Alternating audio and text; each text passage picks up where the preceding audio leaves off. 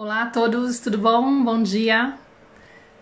Hoje a gente vai falar sobre as feridas da nossa criança interior e como nós derramamos ela no nosso maternar. Tudo bom com vocês? Bom dia.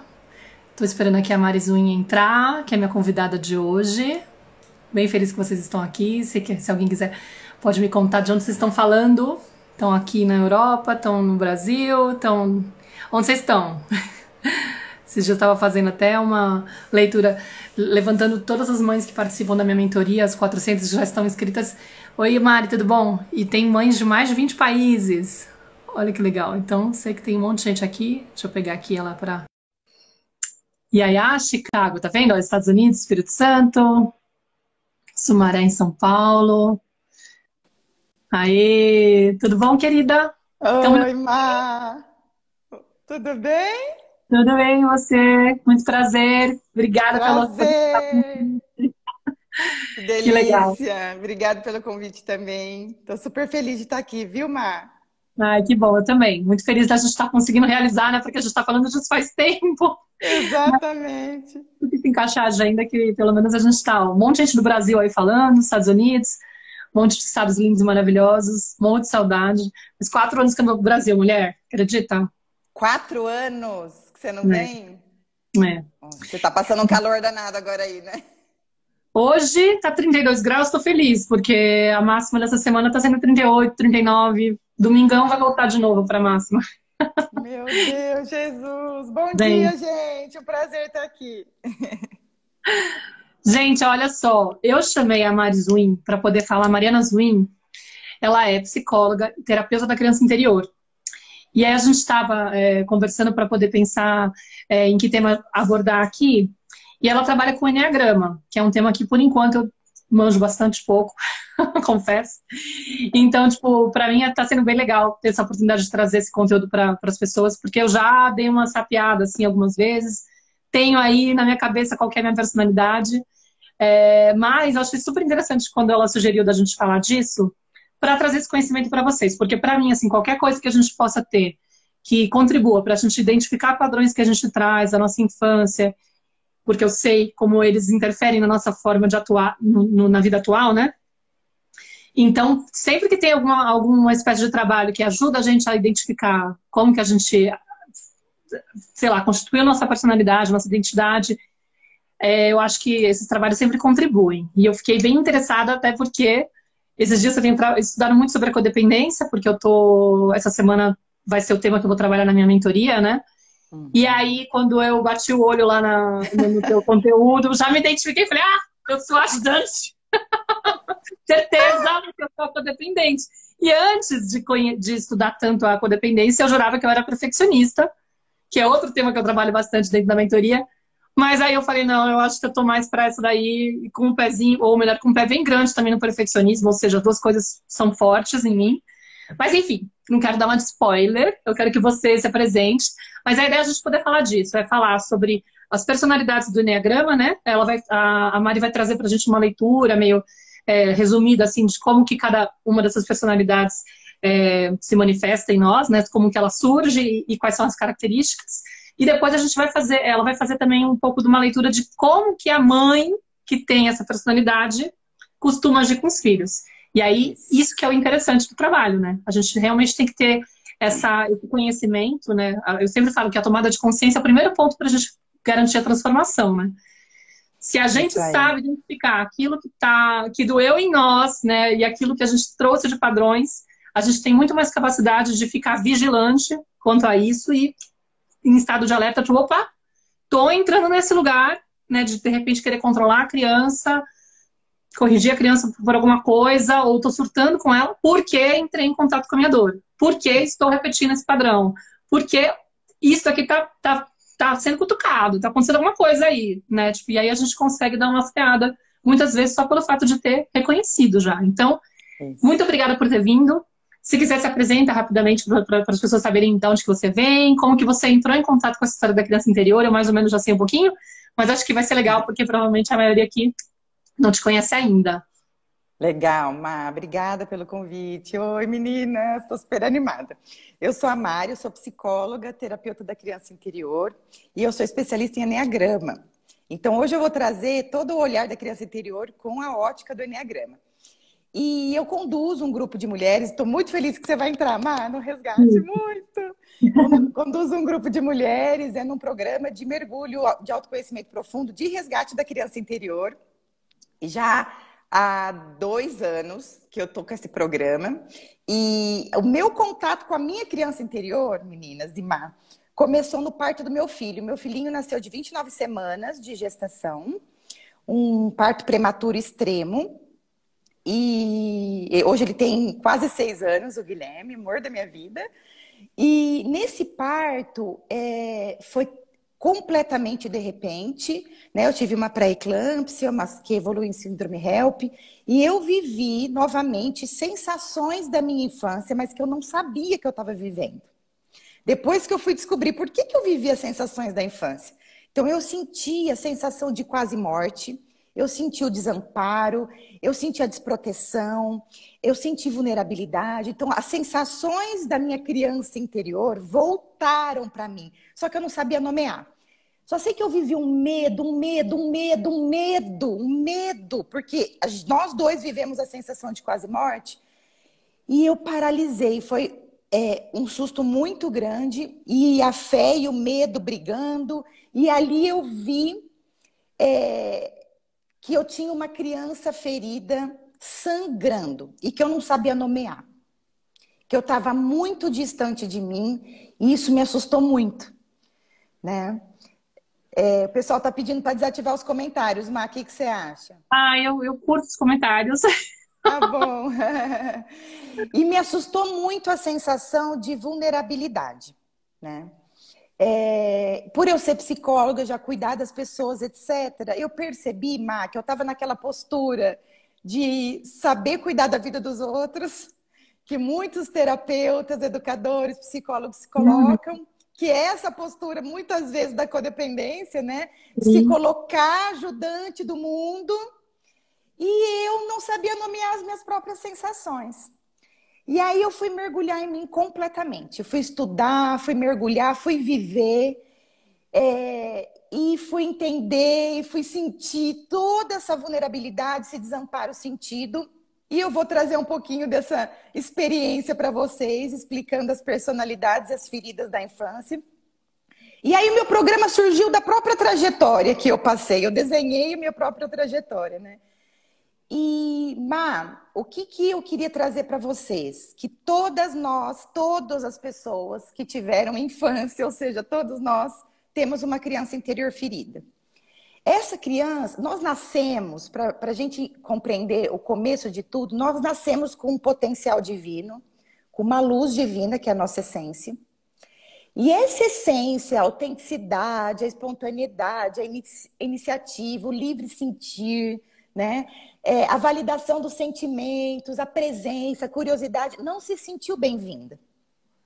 A nossa essência, tantas vozes que vêm, né? Para de chorar, né? Não foi nada, uhum. você é bom sim. A gente, a gente é, não valida aquilo que a gente sente, que a gente traz. Para de fuçar nas coisas da tia. A gente não valida a iniciativa, não valida a espontaneidade. Menina mal educada, não pode falar o que pensa. Todas essas vozes que vêm na infância vão reprimindo essa essência, esse, todo esse potencial de luz que a gente tem. E isso foi ficando lá atrás. Todas essas características essenciais, que, é, que são as mais lindas da infância, nós, não, adultas, feridas, não sabemos lidar com elas. Nós vamos represando também, porque também nós fomos represadas. Então, a gente, presa às nossas dores, a gente repete esse ciclo. E essa essência foi ficando lá atrás. E nós fomos experimentando faltas. Toda falta é um trauma. Então, nós, quando a gente vai falar, não, eu não fui traumatizada, a gente pensa que tem que ter passado por grandes tragédias, né? Um abuso, uma morte de um pai, de uma mãe. Isso também é um grande trauma. Mas qualquer outra falta, da mais simples e cotidiana, também é um trauma. Então, o trauma não precisa necessariamente ser uma grande tragédia, pode ser ou não. Pode ser eu acordei e não vi minha mãe do meu lado, ela está no banheiro e eu me senti abandonada. Uhum. Pode ser eu estar tá na fila do supermercado, eu olho para trás, meu pai foi pegar arroz na prateleira e eu me senti desamparada sozinha. Pode ser as cenas mais corriqueiras e simples do dia a dia que a gente gatilhou a nossa ferida da infância. E aí a gente desenvolve uma estratégia para não sentir mais essa dor. Essa estratégia a gente chama de personalidade. Então a essência foi ficando, nós fomos absorvendo faltas, sentindo faltas, faltas de amparo, de amor, de atenção, de ser vista, de visibilidade. É... E, e a partir dessa dor de falta, nós vamos desenvolvendo uma estratégia de defesa que chama personalidade. A personalidade, ela já vem predefinida nessa essência. É como se ela fosse o airbag de um carro. Já está lá. Só que ela precisa de um acidente, que é a ferida, para o airbag ativar. Então, a personalidade já está pré-definida, porque tem a ver com o propósito que a gente vem entregar no mundo, que a gente comentou na mensagem aquele dia, tem tudo a ver com o propósito que a gente vai entregar. A, a cura da nossa dor tem a ver com esse propósito. Com a jornada da alma, né? A jornada da alma. Então, ela já está lá pré-definida, já faz parte da nossa essência, da nossa alma, já tem a ver com o que a gente veio resolver, evoluir e entregar de potencial aqui nessa vida. Mas ela precisa de um acidente para ela ativar, para o airbag ativar. E esse acidente são essas feridas da infância que eu vou trazer aqui, que são as feridas da criança interior. Então, nós registramos essas faltas no nosso corpo, no coração, nas nossas crenças, nossa mente é cheia de vozes que vêm lá da infância e vêm dessas faltas sentidas. E até os quatro anos, nós temos mais ou menos 80% da nossa personalidade, ou seja, da nossa defesa, é, já construída, já desenvolvida, em torno de 80% até os quatro anos, e até os sete a gente tem em torno de 100% já construída.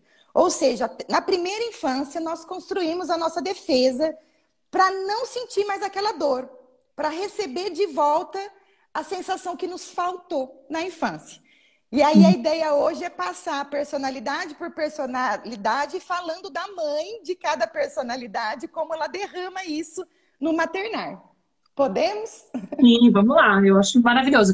Tati, só para que. Se você, pelo menos assim, eu testei agora há pouco como funciona os comentários. Se você toca em cima, tem dois tamanhos de, de visualização. Ou ele pega o rosto da Mara inteiro, ou ele pega metade. Tem um jeito de você testar aí tocando a tua tela, eu acho que ele pode diminuir de tamanho, tá?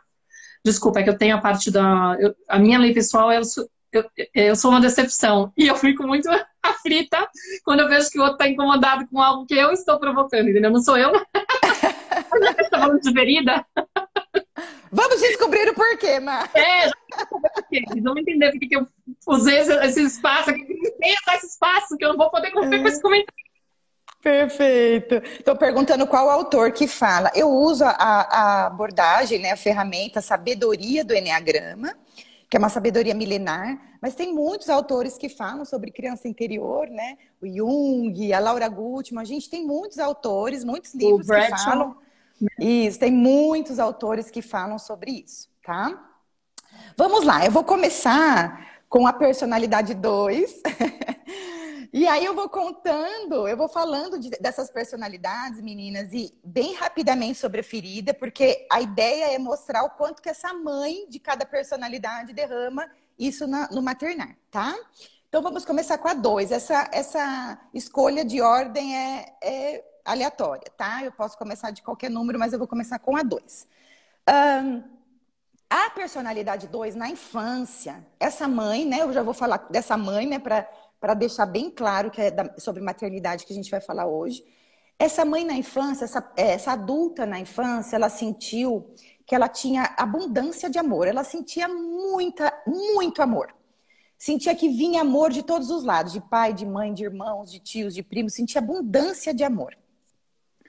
É, em algum momento, alguma cena, pode ser simples, como eu falei, gatilhou a sensação dessa criança de que essa fonte de amor esgotou uh, aquele amor abundante acabou. E aí o que ela absorve é uma sensação de abandono e de rejeição muito grande. E ela percebe naquele meio que se ela fizesse alguns movimentos de ajudar, de ser querida, prestativa, agradar os outros, ser boazinha, colaboradora, gentil, se ela fosse querida, boazinha, prestativa e ajudasse os adultos, os irmãos, porque ela foi internalizando que cuidar de si mesma era egoísmo, ela foi cuidando dos adultos e dos irmãos, e quando ela fazia isso, essa live vai ficar salva, né, Má? Estão perguntando. Sim, sim, sim. Vai depois para o YouTube também, fica tão, fiquem tranquilas. Isso. E essa, essa criança percebeu que se ela fizesse esse movimento de ajudar os irmãos, cuidar das necessidades dos pais e dos irmãos, ela receberia elogio. E esse elogio, esse reconhecimento, essa atenção, ai, que menina fofa, como ela é querida, ela é muito prestativa. Fala com a Maíra que a Maíra dá um jeito, aquela coisa de trazer tudo para si, carregar o mundo nas costas, irmãos, pais, ser boazinha, ser cuidadora de todo mundo. Fala com a, com, com a Maria, fala com a Joana que ela cuida disso. Ela sentia que essa forma de reconhecimento, atenção, era amor. É, eu acho que tem um ponto até aí do, desculpa, que você falou, ah, ela não, não, sente que ela pode cuidar de si mesma. Acho que até prévio, né? Ela não sente que ela pode falar das necessidades dela para esses adultos, porque eles estão preocupados com outras questões, né? Essa, essa, eles estão presos na, nas dores deles ou enfim, alguma coisa, né? Não estão olhando para a criança. Aí ela percebe que, opa, eu não posso ser um estorvo, eu não posso ser um problema a mais é melhor eu colaborar, eu ser boazinha, eu ser aquela garota responsável. Tô falando por gente, por, por, por estudo de caso, por justa, né, por, por, experiência própria. E aí ela vai se anulando. E obviamente que ela vai adquirindo essa ideia de que, como ela se desconecta das próprias necessidades para poder né, se proteger, já eu não posso mostrar para eles o que eu preciso, então eu vou me treinando a não observar aquilo que eu preciso. Exatamente. Porque senão, não o tempo todo me, me dando com a ideia de que está faltando alguma coisa. Não, eu vou me desenvolvendo para estar para o outro de um jeito tão maravilhoso e aprimorado que eu esqueço de mim. É eu isso. Nem é... que passa.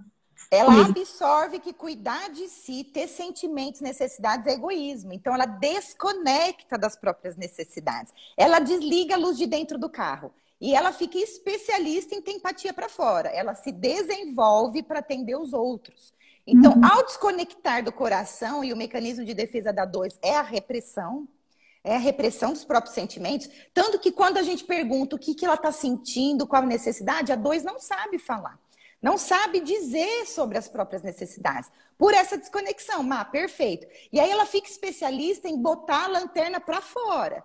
Uhum. Então é aquela mãe, já falando da mãe, extremamente cuidadora, gentil, exagerada no cuidado. Eu tenho muitas amigas dois e eu percebo isso assim. A criança já dá conta e ela cria uma relação de codependência, porque a dois é tipicamente a, a relação de codependência, porque aqui o pecado capital, cada personalidade tem um vício no pecado capital. Aqui é o orgulho é a soberba. Todos precisam de mim. Então, como eu desconectei do meu coração e eu tô para fora, eu preciso alimentar esse vício. E eu preciso que ser necessária. Eu preciso que o tempo todo as pessoas precisem de mim e eu não preciso de nada. Então tem muito orgulho, muita dificuldade de pedir ajuda, não usa a rede de apoio como precisaria e poderia, né? Então é. aquela mãe, a mãe que coloca é, muita sobrecarga emocional dela nos filhos, faz cobranças afetivas, né? De reconhecimento, precisa reconhecer o tempo todo o esforço dessa mãe, né? Precisa de validar. Por qualquer coisinha, do tipo, ai meu Deus, ela não. Porque tem essa sede de aprovação, né? De, de quer agradar demais. Gente, é um desespero, gente, vocês não têm noção. Você não sabe, só, só fazer um. Não vou fazer isso em todas, né? Mas como esse é o meu caso, eu vou fazer um pouco de ilustração. Gente, às vezes a gente fica muito desajustada por coisas mínimas, sabe? Do tipo assim, prometi te fazer um bolo para menina. Só pelo fato de ter prometido. Aí, de repente, tem ovo, o ovo tá estragado. Ai, meu Deus, eu não vou conseguir entregar o bolo que eu prometi. Ai, meu Deus, eu vou decepcionar a menina, ela vai ficar chateada. E às vezes ela não tá nem aí. Se você falar para ela que você vai fazer pipoca, ela tá contente, né? Mas aí a gente jura que o fato de ter feito aquela promessa vai deixar a criança num lugar assim de essa mãe não presta para nada, que mãe, né, nada a ver, tipo, como se ela fosse reviver a nossa dor, né, de lá Isso. de trás. Isso, então essa mãe vai para esse lugar, medo de desagradar, um medo de decepcionar. Então é aquela mãe que vai ficar preocupada que os outros estão pensando na maternidade dela. Essa mãe, perto de sua própria mãe, vai morrer de medo de não ser aprovada, de não agradar a sua estratégia de educação para o seu filho, de não estar tá agradando essa mãe muito medo de rejeição, muito medo que esses filhos gostem mais do, dos pais, das tias, e que se desvincule dela, porque tem essa cobrança afetiva por amor. Então, a mãe está derramando as dores dela. Ela encontra neste filho um, uma oportunidade, que é uma armadilha, de preenchimento dos seus próprios buracos né? Seus buracos afetivos. Então fica exigindo esse reconhecimento, querendo agradar o tempo todo, criando essa relação de afeto de codependência, precisando que esses filhos validem essa mãe o tempo todo, o quanto essa mãe é ótima, o quanto essa mãe faz de tudo pela família, o quanto que ela se esforça. Então isso é uma prisão, né, Má? Porque vai colocando as crianças num lugar pesado demais, porque o lugar de criança é receber dos pais e não dar nada para nós né? Criança não foi feita para dar nada para nós, elas for, foram feitas para receber, né? E a gente coloca muito peso em cima dessas crianças, né? Então essas cobranças de reconhecimento, exagero de cuidar, porque cuida, a criança já já tem autonomia, mas ela está querendo cuidar porque tem um vício em se fazer necessário. Então infantiliza essa criança. Muitas é. vezes essa criança já tem capacidade de fazer coisas com as próprias pernas e essa mãe tá lá cuidando. Não, deixa que eu ponha a camisetinha. Não, deixa que eu faça o lanchinho na, na mochila. É, é uma delícia pra gente se sentir necessária, né? porque a gente depende da dependência do outro. Né? A gente depende. Né? A gente quer realmente que a, que a pessoa fique lá precisando da gente, porque aí a gente vai se sentir preenchida. Tipo, eu tô fazendo justamente aquilo que eu mais tenho capacidade de fazer, que é cuidar, e aí eu tenho reconhecimento. Não é um, um cuidado genuíno. No fundo, no fundo, é um louco é um cuidado, tipo, louco para poder garantir essa aprovação, ter essa coisinha de, tipo, ai, que delícia, tá preenchendo, tem alguém dizendo que me ama por conta disso, e é uma, uma ideia também de que se ela fica dependente, ela jamais vai abandonar. Exatamente. É um... Perfeito, porque o vínculo da codependência não, não ter o abandono de novo. Então, se eu me faço necessária, eu garanto aqui que cuidem de mim. Eu garanto aqui que me amem. Eu garanto aqui que me reconheçam. Eu garanto que eu não sou abandonada. E eu nunca mais vou viver a dor do abandono lá atrás. É, só que então, perigosíssimo, porque o que a gente pode fazer é realmente prender essa criança e não permitir que ela vá para o mundo, porque ela percebe, a criança colabora. Então, gente, tem que ficar muito alerta. Eu, tô, eu, eu até anotei uma história bem rapidinho que eu quero contar para mostrar, porque assim, eu faço muito os diários assim, que eu vou escrevendo. Aqui eu tenho um que eu brinco que eu chamo de perebas emocionais. que eu vou anotando as paradas que eu vivo com a Nara, assim, porque realmente os filhos entregam pra gente muita informação, né? Eles são. O tempo todo eles estão convidando a gente a olhar para as nossas sombras. E aí eu peguei, eu lembrei de uma história que eu acho, ah, isso aqui é, pode ser legal de, de, contar, porque é de alguns anos atrás. Eu me separei do pai da Nara há uns dois anos e meio, mais ou menos, quase três anos, se bobear fisicamente há uns dois anos, mas enfim, com a pandemia também ficou, foi meio zoado que a gente ficou oito meses morando juntos. Então ficou meio esquisito, mas faz uns dois anos que a gente separou, pelo menos, quase três. E aí eu lembro que um pouquinho depois, quando eu ainda estava muito sensível, muito insegura, aquela coisa duas casas, a gente tem guarda compartilhada. Meu, sempre vem umas paranoias do tipo, como vai ser lá na frente, né? Pensando nessa coisa da comparação. Que medo que dá.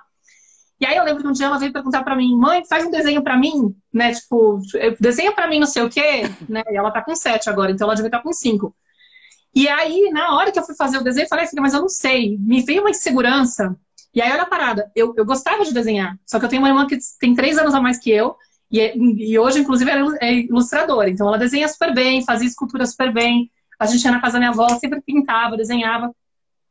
E aí eu me comparava muito e me sentia super incapaz de fazer os desenhos, porque veja só, minha irmã faz aquilo, tipo, né, um negócio aqui.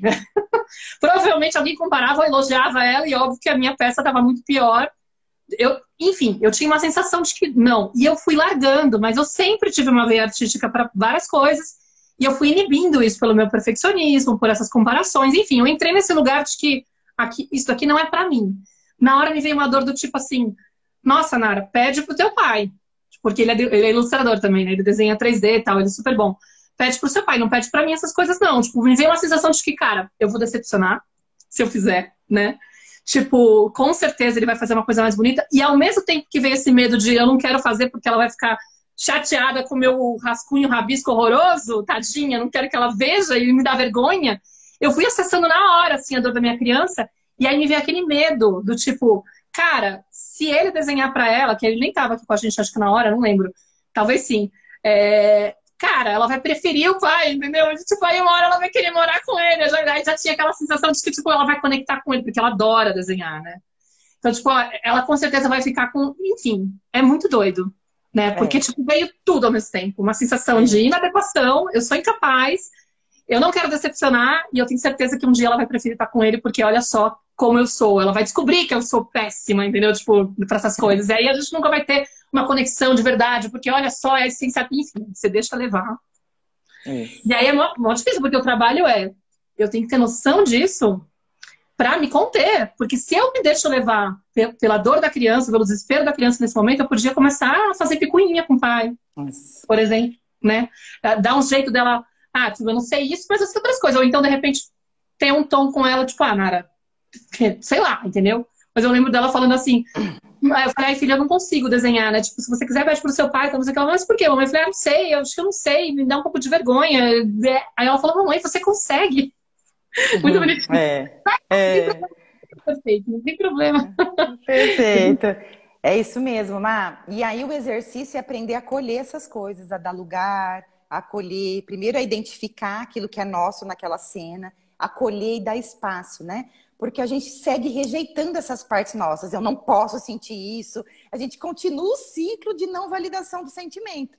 Se a gente não tem a percepção e esse calibre cardíaco, né, emocional mesmo, para incluir essas coisas emocionalmente que a gente sente, a gente segue represando, né? Segue reprimindo, dizendo: não, imagina, eu não posso, eu não posso demonstrar isso continua na dureza, né, consigo mesma de reprimir essas emoções. Então é muito bonito esse relato, porque só de você reconhecer e dar espaço para esse desconforto, esses medos que você tem e que você tem, isso está em você, porque a sua criança interior registrou isso, né? E o caminho agora de cura é ir aprendendo a acolher. Né? Aprendendo emocionalmente a entrar em contato com isso e acolhendo, porque se a gente segue rejeitando essas coisas, a raiva nossa é um pedido de socorro. O nosso grito com o nosso filho é o nosso pedido de socorro da nossa criança interior. Ah, olha para isso. Tem coisa aqui de dor que não está sendo acolhida. Quando a gente grita com o filho, é a nossa raiva. Essa raiva é a nossa criança interior gritando para aquilo que o filho está espelhando nosso. Uhum. Que é bem isso aí. Você podia ter morrido de raiva nessa hora, você podia ter descontado em todo mundo, ter feito birra, né? Porque adulto também faz é. birra. E aí, por exemplo, essa mãe dois, aonde que ela tem raiva, né? Por exemplo, quando o filho não escuta, porque ela não se escuta. Uhum. Tem uma sombra enorme. Então, quando o filho não ouve, é, volta para ela a sombra dela não se ouvir, porque ela desligou o interruptor interno, ela não escuta os seus próprios sentimentos se necessário. É, e quando pede atenção também é um gatilho, porque você não, te, você não se atreveu a pedir atenção, né? Você, você ficava o tempo todo, tipo, reprimindo, né? e aí, tipo, você não tá entendendo, meu? Tipo, eu aguentei muito mal, sabe? Eu aguentei segurar essa, as minhas necessidades. Por que, que você fica demonstrando as suas para mim? Me deixa em paz. É, às vezes a falta de empatia vem um pouco para o filho. É tipo só com o filho que você se atreve, né? No final, porque você tá é. desenvolvendo para todo mundo. Mas dói, assim, fala, meu, ah, vontade que dá e fala, para. Quando, quando, o filho quer muita atenção, exatamente, porque você não dá atenção para você mesma. Então, assim, Exato. assim, quem é você para querer tanto se eu não tenho espaço para querer? Dá muita raiva. Por exemplo, quando a gente vê filho sendo rejeitado pelo amiguinho, volta a cena da rejeição e dá muita raiva. Então, os gatilhos estão. As raivas escondem as dores. É que a gente, uhum. quando a gente está no automático e a gente não tem apoio, né? Da Maíra, da Mari, a gente não sabe identificar, porque uhum. a gente não sabe descobrir ali que dor é essa, que sombra é essa, né? Mas a raiva é o grito de socorro da criança interior. E a gente precisaria olhar para o que, que o filho está devolvendo. Vamos para três, Má? Sim, senão... senão a gente não termina hoje, que o papo é bom. É, a três, ela sentiu geralmente na barriga da mãe, quando a mãe é, descobriu que estava grávida, a, essa criança absorveu que a mãe. A mãe teve, ficou preocupada, a mãe ficou surpresa, a mãe ficou meio desconcertada ali com a notícia, e essa criança absorveu que veio tudo menos amor. A, a criança absorveu que não veio amor ali, que ela não foi vista. Então ela absorve uma rejeição profunda da mãe neste momento, uma rejeição emocional. E quando ela nasce, ela começa a crescer naquele sistema, ela percebe que aquele sistema ali valoriza realizações, troféus, destaques, conquistas. E essa criança começa a perceber que se ela for a melhor aluninha do judô, é o melhor aluninho do judô, o melhor aluninha do balé, o melhor aluno da sala, se ele, se ele se performar bem, se ele cumprir as tarefinhas direito, se ele fizer coisas extremamente bem, se destacar, ele vai receber as estrelinhas, o parabéns, os aplausos, o reconhecimento e a admiração desses adultos. Logo, ele vai ter o amor de volta. Na três, é, a confusão é confundir aplauso com amor. E essa adulta cresce extremamente performática, meta, meta, meta, meta, realizadora, trabalha igual uma condenada. É a verdadeira workaholic de todas as personalidades, é a três trabalha muito e é meta para tudo. Conquista, destaque, eu tenho que ser melhor, é uma angústia incessante por realizações, por seu destaque, porque precisa o tempo todo se sentir admirada pelos colegas de trabalho, pelos familiares, pelo filho, pelo marido, porque sente que essa admiração pode ser amor.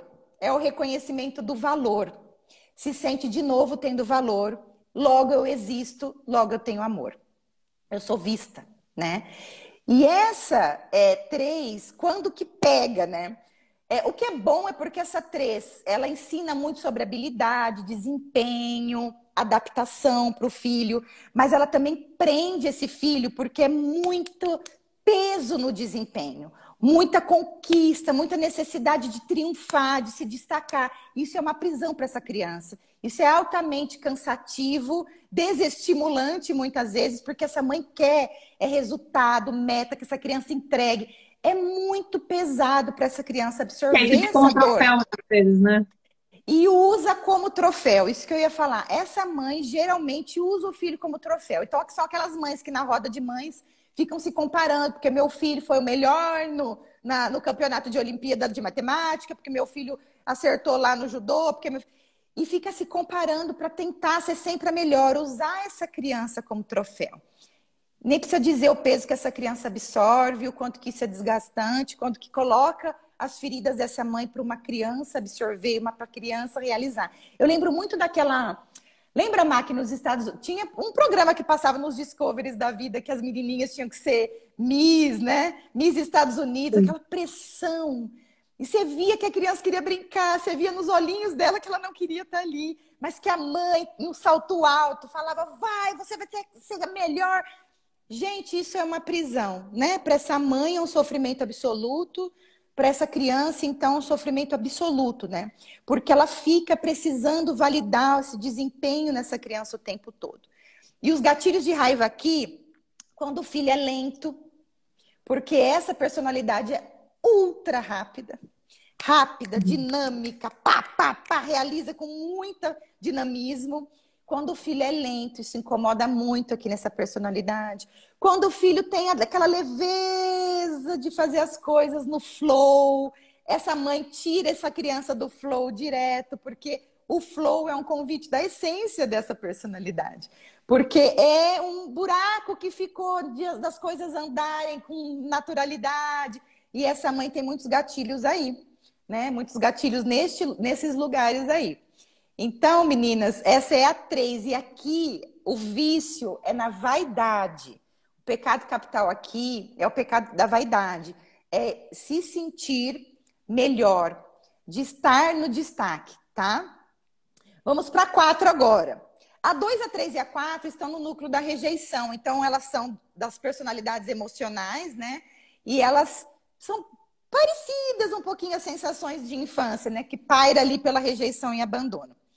A 4, ela sentiu parecido com a 2, que tinha amor, e, e só que a 4, um pouquinho diferente da 2, ela sentiu que ela era vista e amada de uma maneira especial e única. Ela tinha esse quê? Ela era reconhecida por coisas únicas, especiais que ela fazia.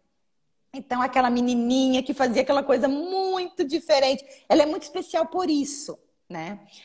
E ela sentia que tinha um amor diferente, então. Ela tinha um amor único e especial.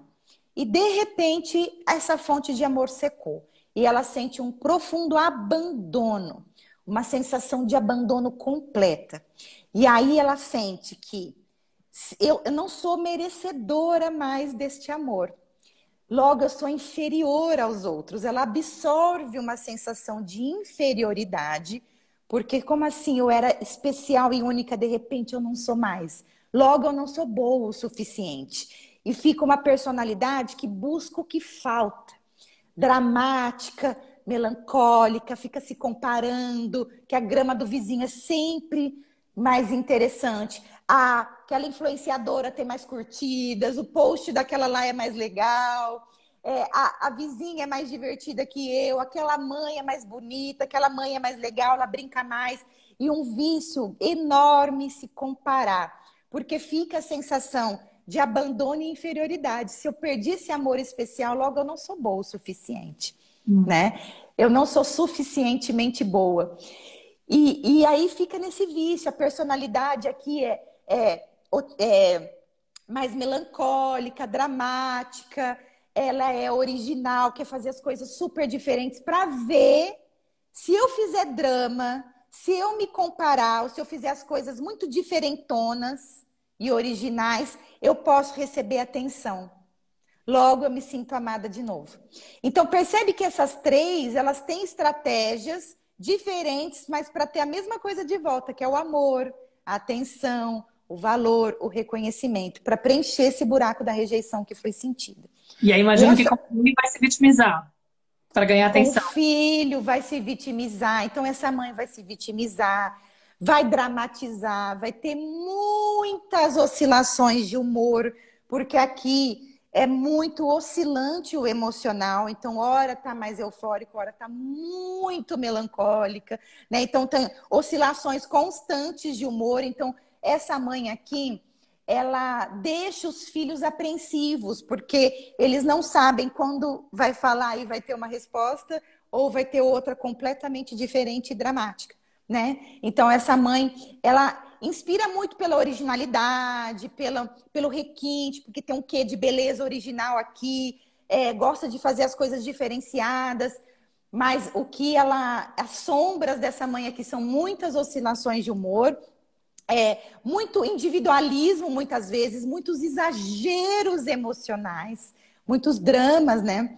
E aqui eu coloquei como gatilho, eu anotei alguns exemplos aqui é, o filho que se compara, né? O filho que fica se comparando. Essa mãe vê a sombra dela.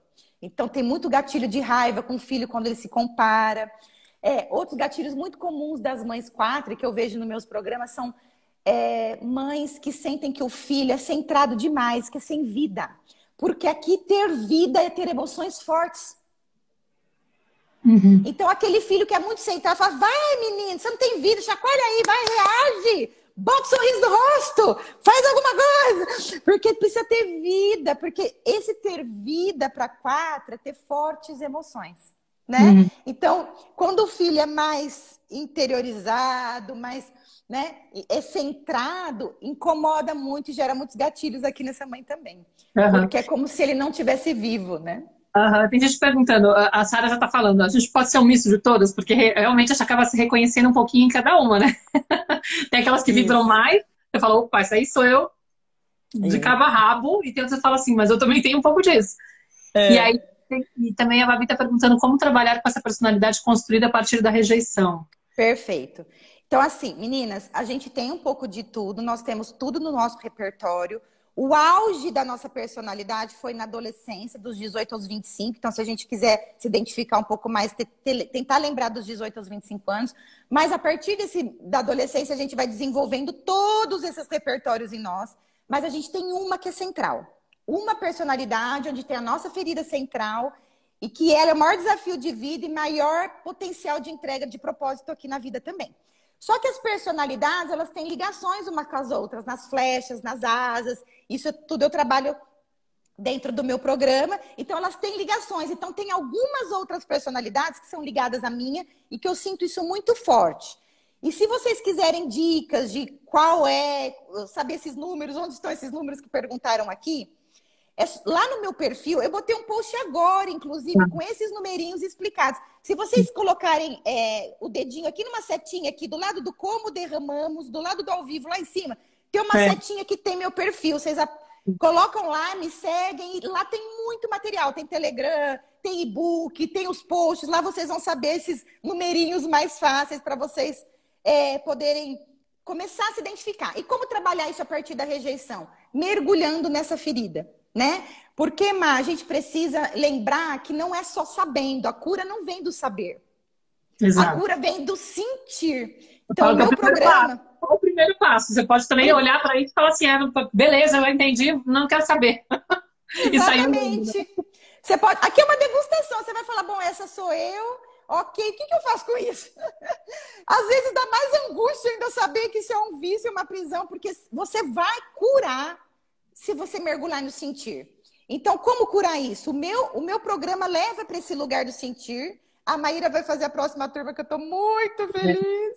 E, esse, e o programa leva para esse sentir. Então, a gente precisa entrar em contato com essa dor para a gente aprender a acolher essa dor para a gente sair do vício, tá? Então, o saber, ele é um quinto do processo. A gente precisa reconhecer e mergulhar na dor mesmo para se curar através do sentir. É um trabalho para a gente poder trabalhar com a questão da, do maternar a criança interior, porque esse é o ponto, né? A gente vai ter que se, se debruçar em fazer esse, ter essa capacidade de identificar para depois trabalhar essa dor e aprender a maternar essa criança, porque senão ela fica o tempo todo entrando em cena querendo governar a tua vida.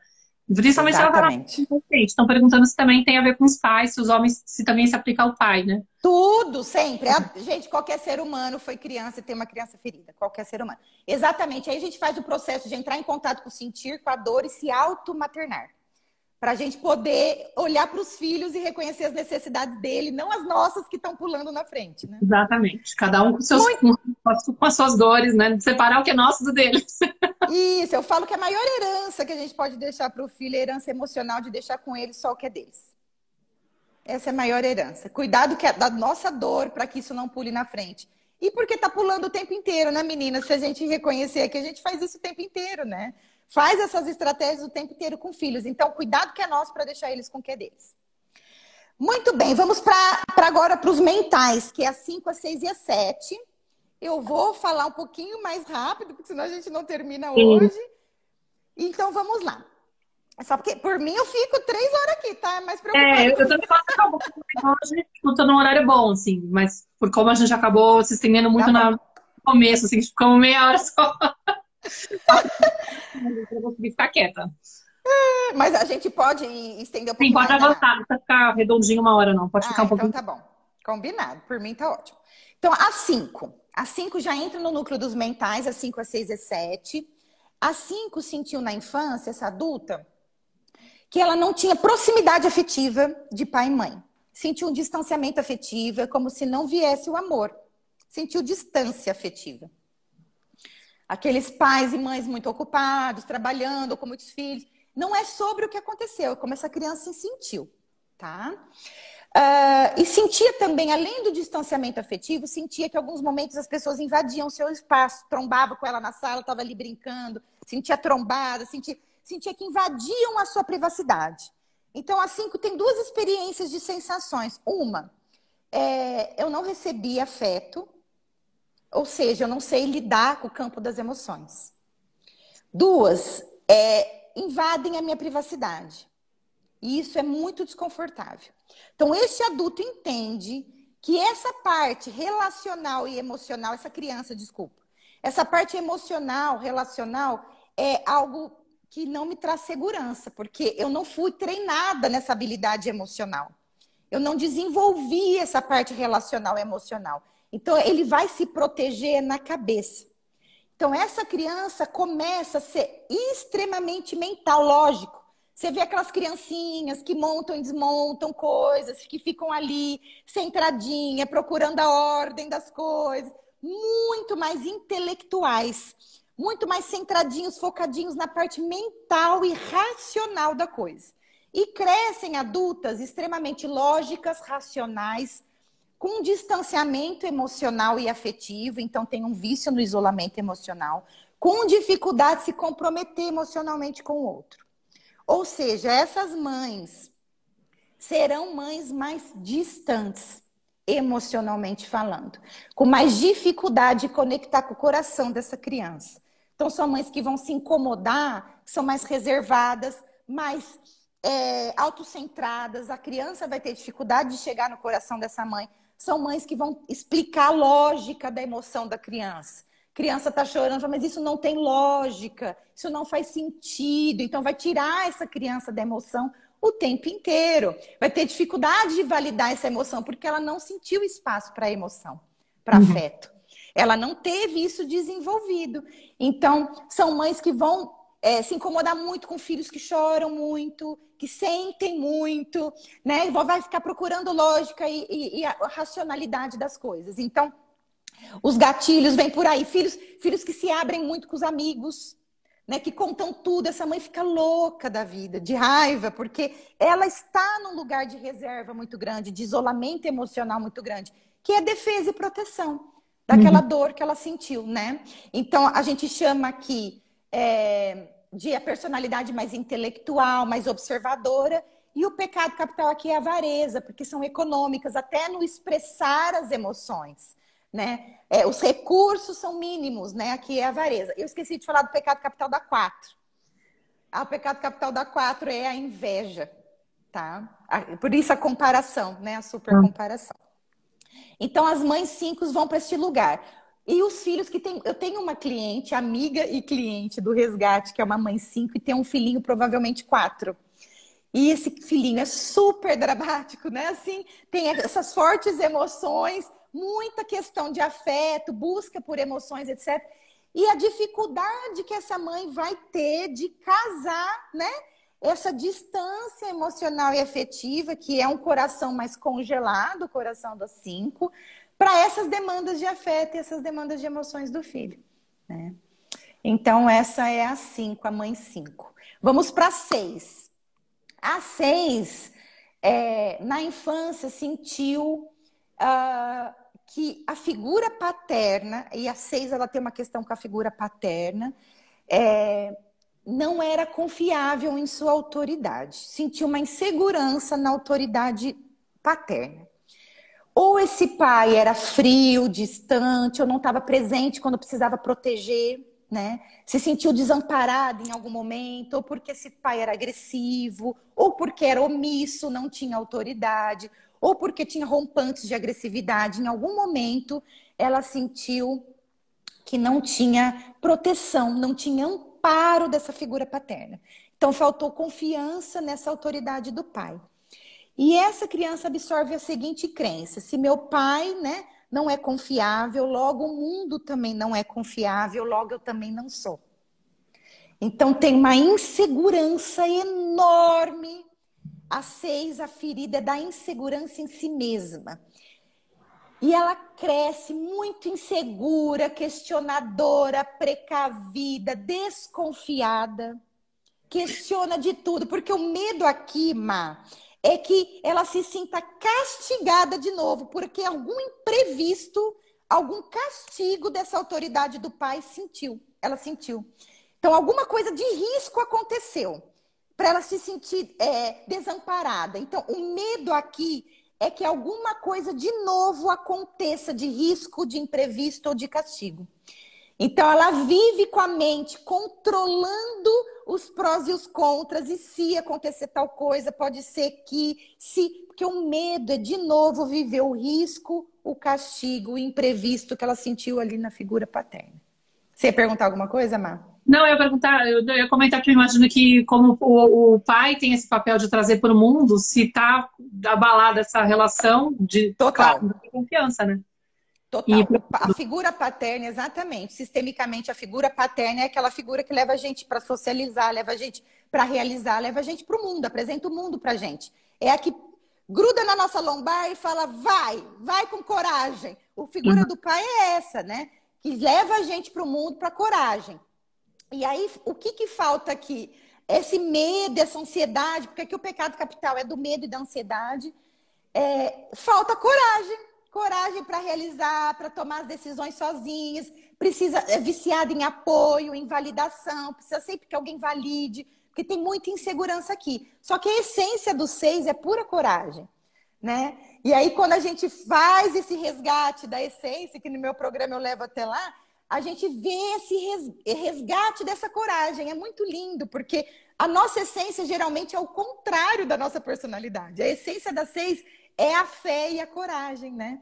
E a gente curar essa ferida para poder acessar a coragem e a fé de novo. Então, são mães ultra protetoras que tentam evitar os riscos desse filho. Então, aquele filho que toma as iniciativas, que sobe na árvore, essa mãe vai ter um medo, desespero para precaver isso, exatamente.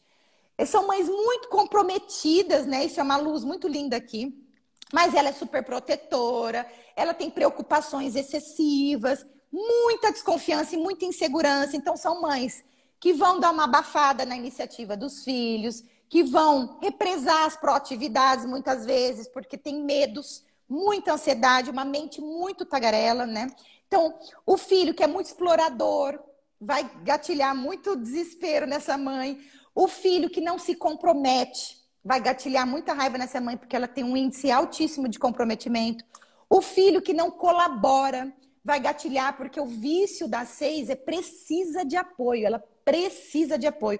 E muitas vezes, por essa insegurança, ela precisa do apoio do, do livro, ela precisa do apoio do marido, do chefe, das amigas, ela precisa de um comitê que ajude ela a tomar as decisões. E muitas vezes ela coloca isso no filho. O filho precisa apoiar. Então, você não colabora, você não contribui. Muitos gatilhos vêm deste lugar, né? Ela deve ser uma mãe bem medrosa que também, de certa forma, se nutre do filho, né? Tipo, quer, quer garantir essa segurança com o filho. Então, de repente, com o filho, exatamente. A festinha se sente mal, falando, não, minha mãe não tá muito bem, vou ficar em casa. Exatamente, porque ela derrama os medos no filho, e são medos que não são dele. E aí ele ficando em casa, bom, eu me sinto um pouco mais segura aqui. Então, exatamente, uso os filhos para tapar esse buraco da insegurança. Então, se meu filho não subir na árvore, estou uh, mais segura. Não tem riscos, não tem é. castigos, não tem imprevistos. Lá no inconsciente, é isso, esses são os medos. Né? É, não, As deve ser meninas... pesado para criança, né? Pesadíssimo para criança. E para essas mães também. Eu tenho muitas clientes seis porque as personalidades seis, ela tem muita facilidade de pedir ajuda. Inclusive, ela é viciada em ajuda e apoio, né? E aí, com ela, depois eu tenho que trabalhar assim, o que, que você acha que você deve fazer? Né? Eu, preciso começar a estimular a autoconfiança nessas clientes, porque elas pedem ajuda com muita facilidade. Então, a grande parte das minhas clientes, acredito que a maioria delas são. A, a personalidade que mais tem é a seis, porque tem muita insegurança para tomar esses passos sozinhas, né?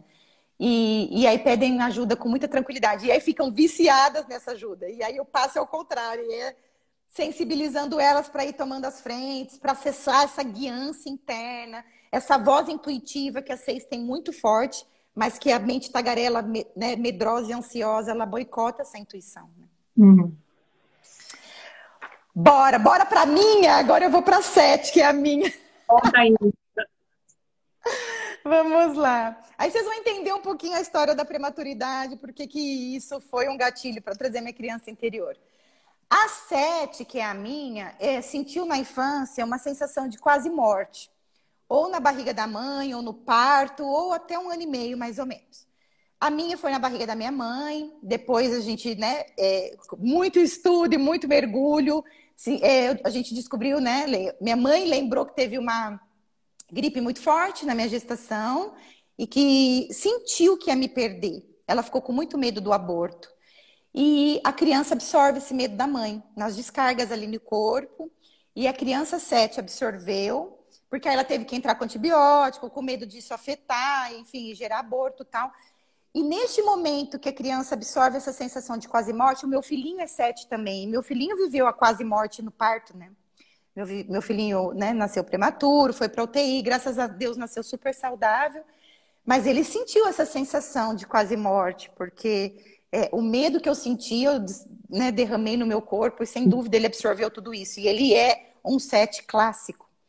E imagina ele o quanto de sombras ele traz para mim, né? Sendo da mesma personalidade. Quanto de cura tem nessa relação. E aí a Sete sentiu uma sensação de quase morte é, e que neste momento ela se sentiu só, sem o afago da mãe, porque aí a mãe vai ficar preocupada, vai falar com o médico, vai fazer as coisas no mental e no prático e esquece ali de dar um afago na barriga, de acolher essa criança, de falar tá tudo bem, eu tô com você. E neste momento da quase morte, ela sente que ela foi abandonada, que ela tá sozinha. E aí a, a crença aqui é: quando eu estava para morrer, eu fiquei desamparada, eu estava sozinha. Todas as sensações dos 5, 6 e 7, eles pairam pelo desamparo, desproteção, que são os mentais, né? E aí essa sete fala: se eu, se eu estava sozinha quando eu estava para morrer, logo eu não posso contar com ninguém. Eu preciso ir para o mundo, fazer a minha vida acontecer sozinha, eu por mim. Então, uma personalidade ultra civiration, né? Se vira nos 30, realiza, faz, acontece, super produtiva, faz um milhão de coisas ao mesmo tempo. E aqui o pecado capital é da gula, porque faz muitos cursos, trabalha muito, é, faz muito, muito, muito, muito de muito. Então é a gula de enfiar muitas coisas dentro deste buraco, porque ela quer é não sentir mais o vazio daquele abandono experimentado, aquela sensação de desamparo experimentada. Então são é, adultas otimistas que querem ver o lado bom da vida. Então são as pessoas que vão ter sempre uma justificativa positiva para tudo. Ah, foi melhor assim. Né? O pecado capital do seis é medo e ansiedade, cara. E o do sete é a gula. É, então, essa sete, ela vai ser otimista, mais visionária, ela vai se prender às experiências positivas, vai querer olhar as coisas boas da vida, vai querer viver os prazeres da vida. Então, porque ela morre de medo de entrar em contato com o sofrimento, com a dor, com a frustração, com a limitação e privação de liberdade. A sete é ultra livre e, e ela vai é, ter essa produtividade, fazer mil coisas ao mesmo tempo e muito preocupada em ter racionalizações positivas. Então, por exemplo, acontece alguma coisa e a gente fala, ah, foi melhor assim mesmo, porque senão poderia a gente justifica positivamente as dores do mundo para não entrar em contato com a dor, com o sofrimento e com a frustração. Mari, então a mãe. Oi, ah, pode falar. Quer continuar na sete? Quando você terminar, me fala. Eu quero perguntar tá. uma coisa. Tá bom. Então a sete tem é, a bênção da alegria, da liberdade, da leveza, mas a, a, a muitas coisas assim, eu anotei aqui, as prisões e as sombras, né? É, vai ter dificuldade de sustentar a frustração do filho, porque morre de medo é, de ativar a própria frustração. Então, as mães sete têm dificuldades de dar limites, porque a sete, a gula tem pouco limite, né? A sete não tem limite, então, por isso a gula, né? Então, tem dificuldade de sustentar limite, tem dificuldade de sustentar a frustração, porque isso ativa a própria frustração. É, gatilha, filho que é mais devagar e lento, também a sete tem dificuldade, porque ela tem uma velocidade frenética, faz muitas coisas ao mesmo tempo, então a lentidão aqui incomoda muito também. Eu sou especialista, né, na mãe sete, no filho sete, porque eu vivo isso. Então, filho, quando é, o filho sofre muito, é uma dor insuportável para essa mãe. Então, hoje eu consigo sustentar o choro do meu filho por muito tempo. Mas no começo era desesperador. Eu logo tirava ele do sofrimento, porque o choro do filho é desesperador aqui, porque tem esse medo de ativar a dor e o sofrimento. Os filhos, quando enrolam muito, o sete também tem uma questão da dispersão, porque ela está sempre procurando as coisas mais interessantes para fazer, então se dispersa com facilidade. Então, quando o filho enrola, também traz essa sombra da dispersão. Filhos sem limites, filhos que se frustram. Quando o filho quer muito, quando não está satisfeito, quer, quer, quer. Mas mamãe, mais cinco minutos aqui na rua, mas mamãe, mais cinco minutos. Ativa também a sombra dessa gula, dessa é, insaciedade do sete, né? Então, isso também é muito forte de gatilho. Quando o filho é lento, falei. A impaciência e o imediatismo do filho, que é para agora. Também é uma sombra que gatilha muita raiva na sete, porque a sete é ultra imediatista. Então eu falei muito das minha, da minha vida. Né? Claro, não, não.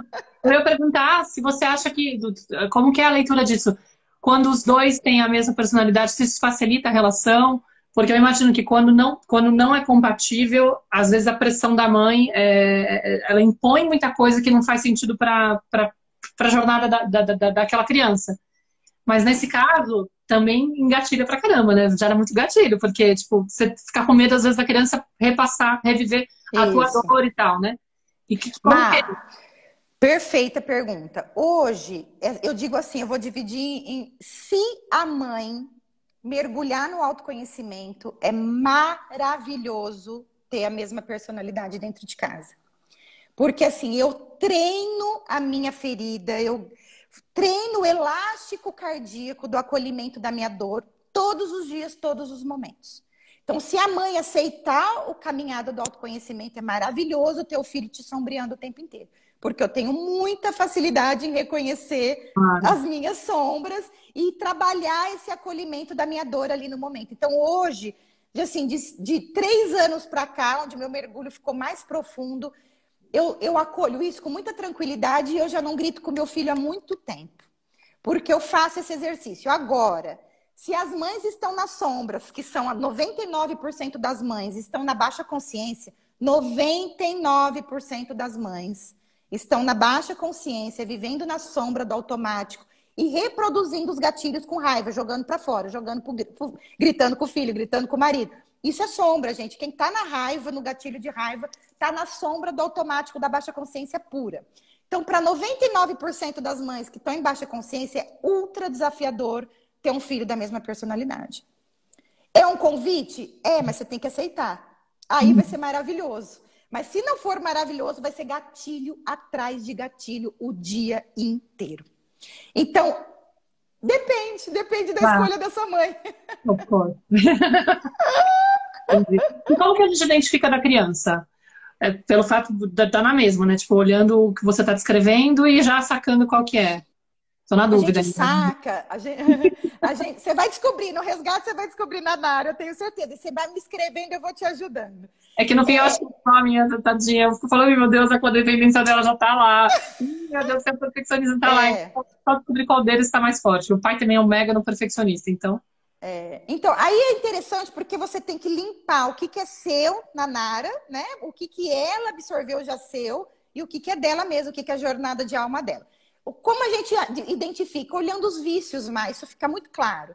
Né? Os vícios de cada personalidade, você vai ver no resgate que tem assim uma pancada de vício cada personalidade, você consegue ver se aquilo, se aquele vício mental é muito recorrente na sua filha, se aquele vício emocional é muito recorrente na sua filha, se aquele mecanismo de defesa daquela personalidade é muito recorrente, você começa a ver as frequências e você vai validando no dia a dia. Uhum. E depois que você fizer o seu mergulho e cravar o seu, você vai ver o dela com muita mais facilidade. Porque a gente só consegue entregar para fora o que a gente fez dentro, né? E é, aí você vai tá ter essa. Com dois anos já dá para saber. Ah, então, olha, geralmente, porque também tem a mistura dos instintos, tá, meninas? Assim, instintos é uma outra coisa que a gente mergulha no programa, que a gente pode um dia fazer uma live também, mas de instintos. Mas a personalidade se mistura aí com a hierarquia de instintos. Uh, e com dois anos, eu descobri a personalidade do meu filho, os sinais ficaram claros para mim a partir dos três. Tem algumas crianças que com dois anos já dá para ter umas pistas. Mas são pistas. Lembra porque a construção da personalidade vai até os sete anos. Então é muito cedo a gente pá, cravar um diagnóstico na criança. Então é importante a gente deixar um elástico mais solto e observando até os sete anos para ficar mais saudável também para essa criança ir se moldando naturalmente e a gente não fazer assim grandes intervenções diagnósticas, né? Porque isso também passa não passa a ser uma pressão para essa criancinha. E é legal uma, falar que na semana do dia 8 eu vou fazer lives. Eu vi que você está você está lá no grupo de WhatsApp e uma das lives vai ser de hierarquia de instintos. Então, quem quiser também saber sobre os instintos, na live do dia 9 de agosto eu vou trazer isso. É muito legal para a gente se cruzar também com a personalidade. E na live do dia 8 eu vou fazer um teste de personalidade também para quem quiser, né? Eu vou fazer um teste ao vivo e as lives não vão ser gravadas. Então, É, quem quiser saber a programação, chama Semana Despertar, tá lá no meu perfil. Mas é isso, meninas. Dá para saber, mas assim, pistas, né? Cuidado para não ir cravando o filho, né? Porque isso também passa a não ser saudável. A gente rotular, né? Porque esse não é o trabalho. O trabalho definitivamente não é de rotular. É a gente se identificar para se desidentificar. Para a gente conseguir fazer o, o caminho contrário de sair dessas prisões que nós todas temos para a gente ir rumo a essa essência que está doida para brilhar de novo, né? Então, o cuidado aqui é, é evitar ficar trazendo número, rótulo, porque isso pouco ajuda. O que mais ajuda é a gente entender onde essa criança com esse vício está precisando da minha ajuda. Onde que eu posso servir de colchão aqui para essa criança que está repetindo essa gula, está repetindo esse planejamento, está repetindo essa inveja, está sofrendo demais. Então, onde que eu posso ser colchão aqui? Isso ajuda. Mas para cristalizar, não, né, Mas Isso não é legal. Não. Bora lá, vamos, vamos poderoso. Vamos, vamos para 891, que são os corporais. E agora eu vou para o núcleo do corpo, que são os mais práticos, né? O que tem energia mais no corpo, que são mais práticos, né? Então vamos para 8. A 8, ela viveu uma experiência de se sentir traída. É, alguns na barriga da mãe, alguns ali no comecinho da infância, uma sensação de que aquela pessoa que eu confiava muito me traiu.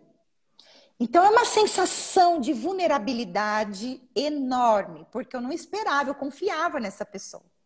E aí essa pessoa me traiu. Então não é sobre o que fez, tá? A criança, ela tem um cérebro, um coração super imaturo, gente, em desenvolvimento. Então, a maneira, né, como ela esponja isso é que faz o tchan da coisa, mas é uma maneira distorcida, imatura, essa maneira de absorver tudo isso.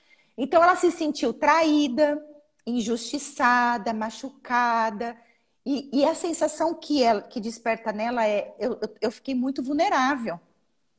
Eu, eu fiquei muito frágil. E eu não posso nunca mais ficar frágil e vulnerável para nunca mais ninguém nem sonhar em me machucar.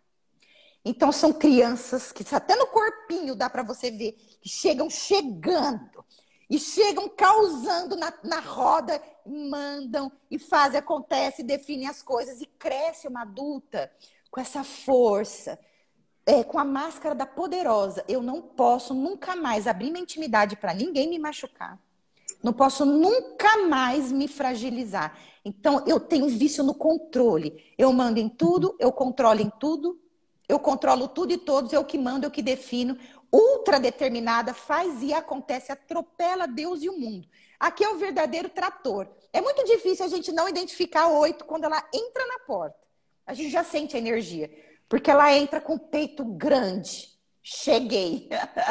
porque é para mostrar força e poder mesmo, para nunca mais se sentir vulnerável e, e, e frágil de novo. E a oito, ela cresce com essa é, máscara de poderosa e forte, de combativa, de extremamente controladora. Extremamente controladora. E então, ela... Desculpa, as, as leituras elas mudam de autor, de linha, mas às vezes elas coincidem, né? Tipo, a Luiz Borbô, ela vai falar da ferida da traição, o personagem é o controlador, né? Isso, perfeito, mas exatamente. Você vê assim que é igual a psicologia, né? Na hora que a gente espreme, chega no mesmo núcleo, né? É. Exatamente, exatamente. Então, a, é, é, é, tudo conversa, mas os nomes vão sendo nomeados, né?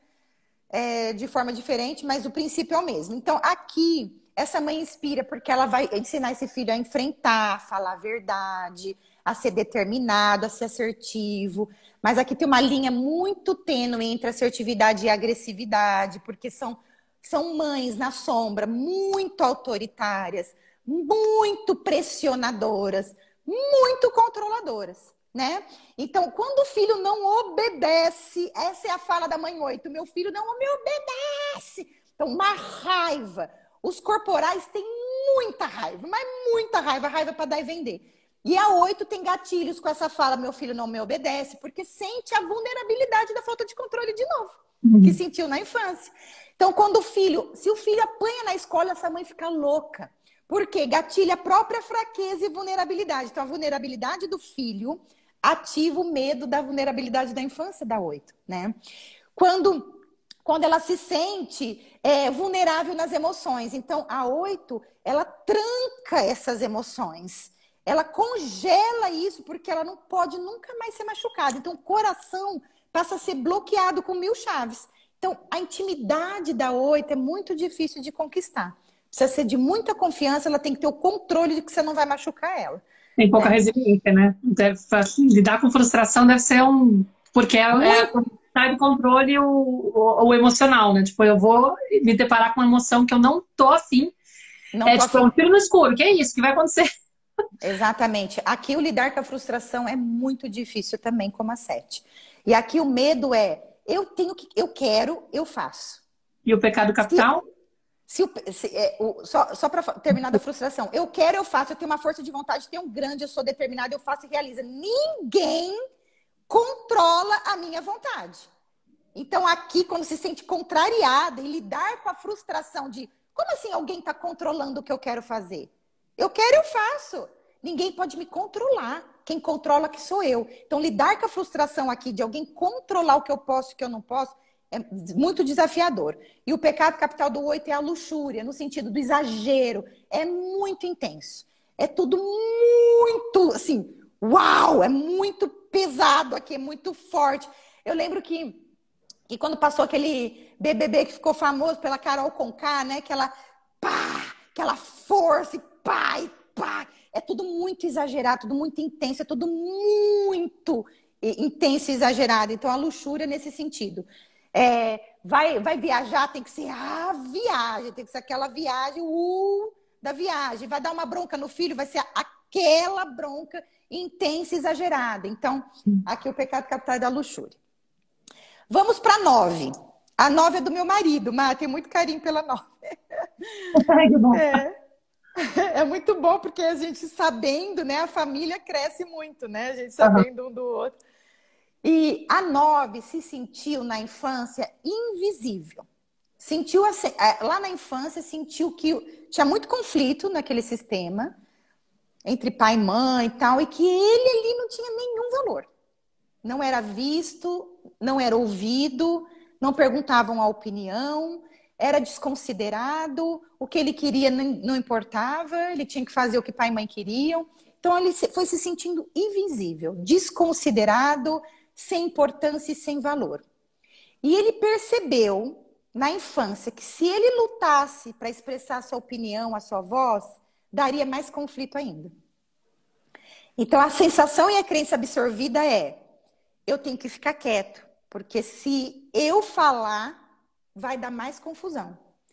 Então, ele Autenticidade, se... coitado, vai para ah, né? Vai, vai para o último da fila, se autoabandona e aqui cria máscara de, de mediadora de conflitos, de pacificadora, de ponderada, porque ela vai para um lugar de invisibilidade, ela assume essa roupa de sem importância.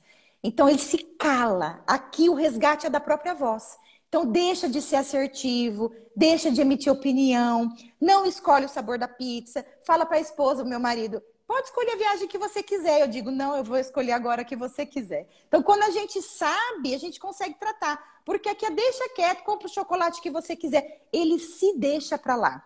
Então, aqui, a ferida desta mulher é de auto-abandono total. De invisibilidade e insignificância, se auto-abandona. Então, também como a dois, vai ficar muito para fora. Vai ver uhum. muito o que os outros querem, cede com muita facilidade. Os próprios projetos ficam lá para o final da lista, né? Fala sim com muita facilidade, e, e, tem muito medo do conflito, então ó, deixa quieto, não, tá tudo bem, deixa quieto, porque não quer viver o então, conflito de novo. Para permissividade, né? Para não gerar conflito. Para não, não, gerar, gerar conflito, ele vai para invisibilidade. Não, para Exatamente. Perfeitamente. Para permissividade. Permissividade, perfeito. Então, são facilmente mães mais permissivas. Deixa quieto, porque vai que esse filho Vai que esse, essa mãe nova tem um filho oito, deixa quieto, vai arrumar tanta confusão, tá bom, tá bom. Então, tem um risco da permissividade, sim.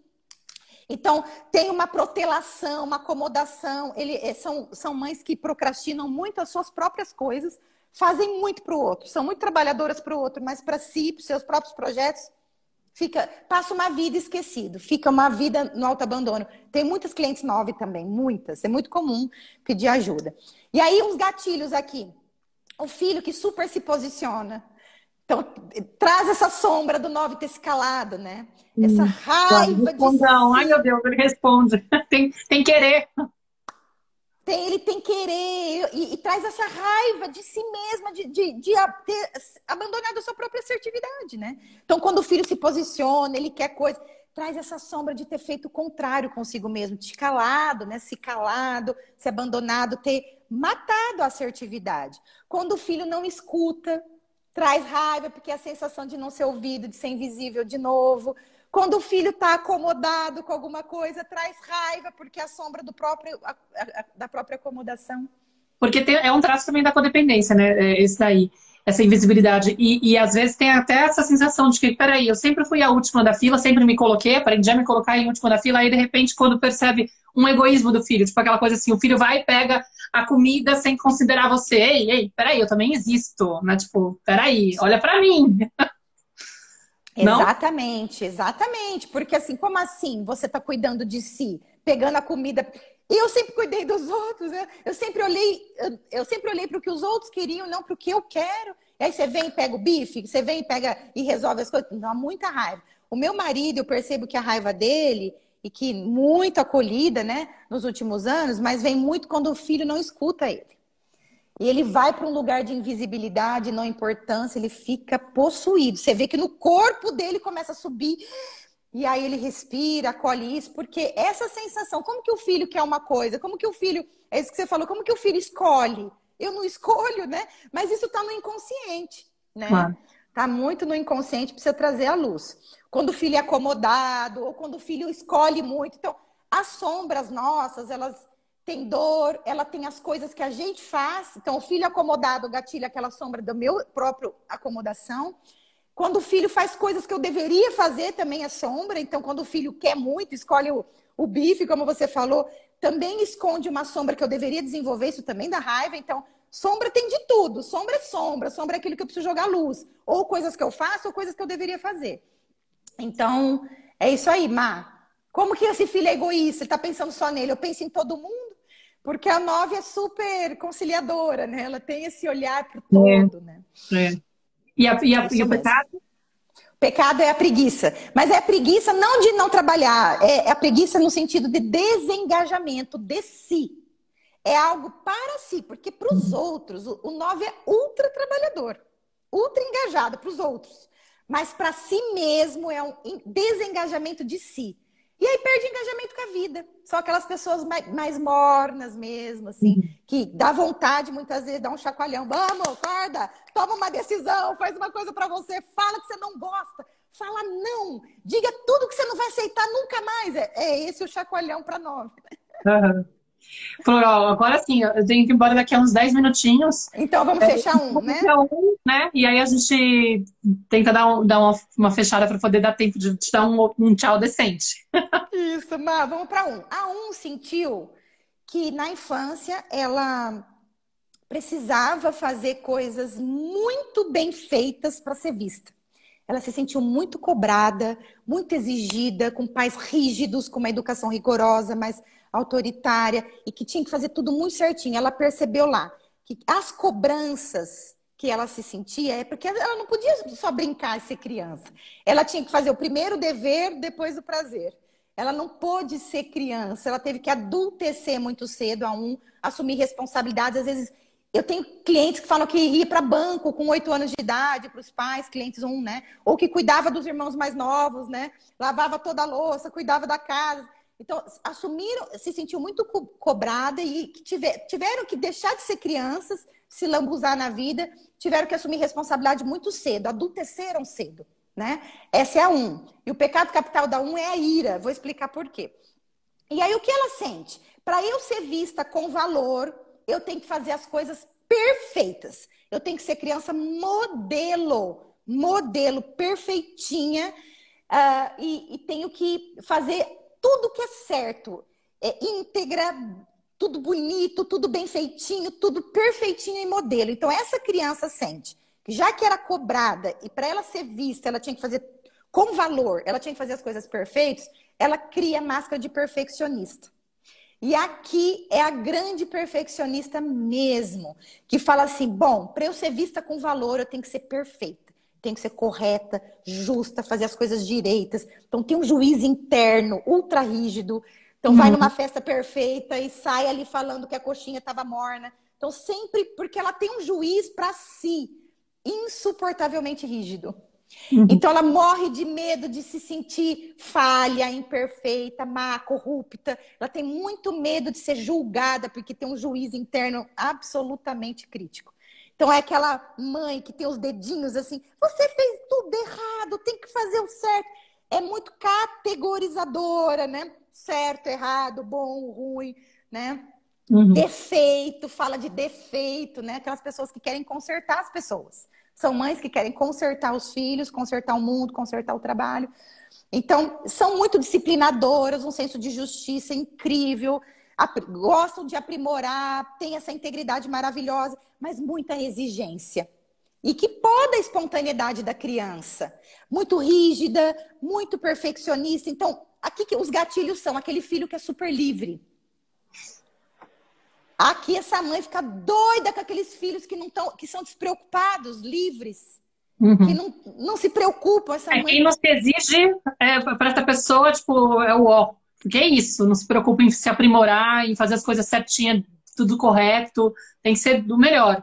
E tu, provavelmente, é, bom, com certeza também se trava muito de entregar as coisas, porque se não tá perfeito é melhor não mostrar. Sim, tem procrastinação aqui sim, porque é. fica nessa onda do que não está perfeito ainda, não está perfeito ainda.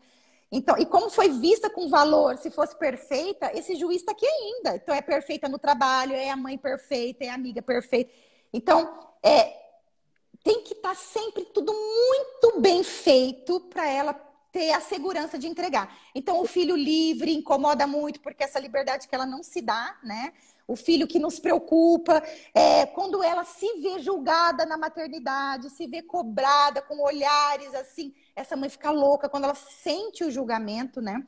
Quando ela sente exigência de outras pessoas, isso gatilha a própria exigência interna. Meu pai é um. E quando a gente fala alguma coisa assim que soa um pouco exigência ou julgamento, menina, ele, o corpo dele endurece assim, porque ativa esse juiz interno quando se vê exigida ou julgada de algo. Quando os filhos se cobram muita tarefa, então eu tenho que fazer tudo perfeito. Então tem crianças que um criancinha um que fica pagando a tarefa porque a, a, a letra um, um, o número um não ficou perfeito e vai lá letrinha A. Aí ela fica cobrando, paga a letrinha A, o número um. Nossa, a mãe passa mal, passa mal. Nossa, como ela passa mal, com Ai, eu fui apagar um negócio no pescoço que não ficou bom. Aí, de repente, de tanto apagar, ficou um furo. O desespero. Nossa. Como é que vai fazer agora para consertar? Sofre de um jeito que você não tem noção. Exato, sofredor. E aí a, a questão é que gatilha nessa mãe a autocobrança. Quando esse filho está se cobrando, a mãe vê o, o, ju, o juiz autocobrador nesse filho. Então, é muito gatilho aqui. E intolerância, as mães que os filhos brigam, essa intolerância do um com briga de irmãos, com, com um mundo errado, com as, com as coisas erradas nessa pandemia, os um sofreram horrores. Porque a intolerância com o errado é insuportável para o um, né? E aí, Má, porque a ira, né? Porque a, o vício da um é. Ele tem uma raiva. O um tem uma raiva, só que sentir raiva fa me faz fazer coisas erradas. Então eu reprimo. Sim. Quem assistiu This Is Us? Você assistiu, Mar? Total, É o Randall, né? O Randall, aquele um clássico, né? O Randall no This Is Us. Porque é, ele reprime tanta ira dele que quando ele sente ira, ele vai correr, né? Que é uma é, estratégia ótima ansiedade e tudo mais. É, exatamente, para soltar, porque o um é muito ansioso. O um e o seis são os mais ansiosos do Enneagrama, né? Das personalidades.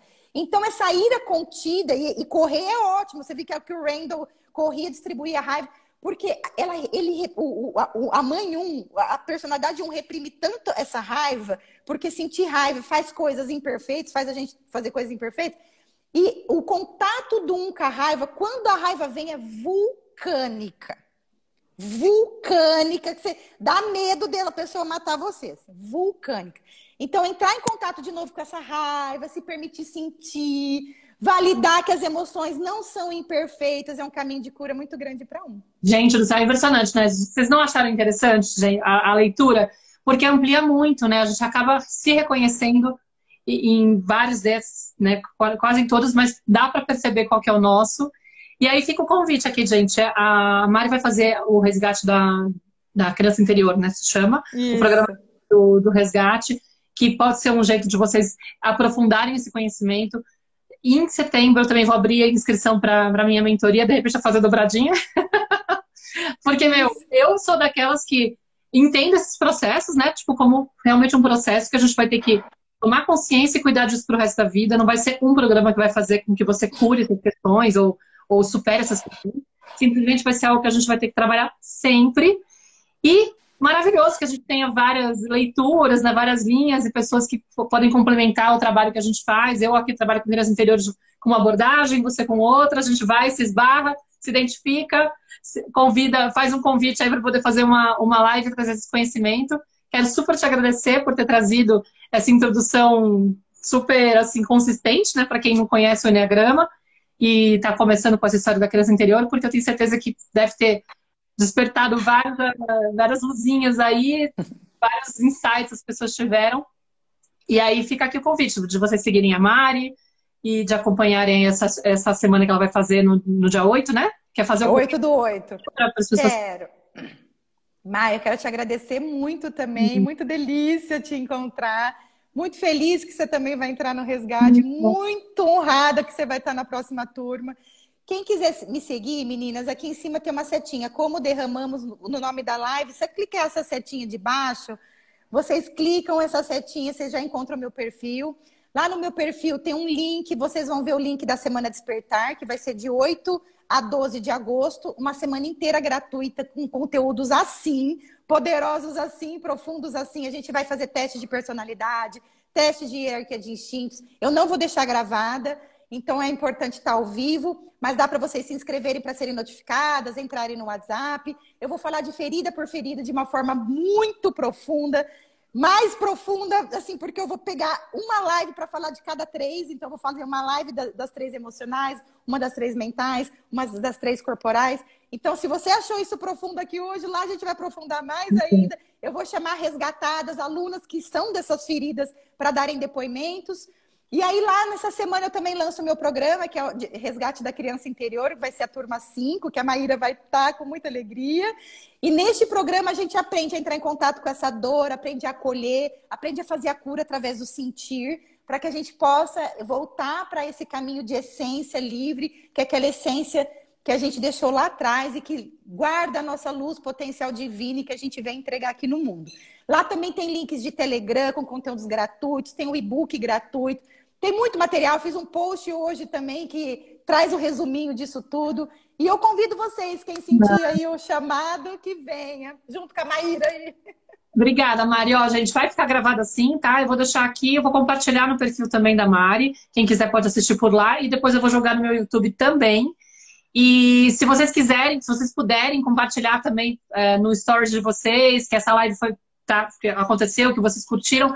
Isso sempre apoia o nosso trabalho também, é maravilhoso. E outras pessoas acabam entrando em contato com esse conteúdo. E aí, de repente, também podem entrar nessa jornada e se tornar esse 1%, deixar esse 1% aí aumentar, né? Quem são as mães que estão trabalhando para fazer o seu processo de autoconhecimento, para poder, enfim, não misturar a, a, própria história com a história dos filhos. Tá bom? Obrigada, Perfeito, gente, Mar. pela presença, maravilhoso. Obrigadíssima, Mari. A gente Obrigada, vai... Mar encontrar logo. falando. Logo menos a gente tá junta. Beijo, tchau, tchau. tchau.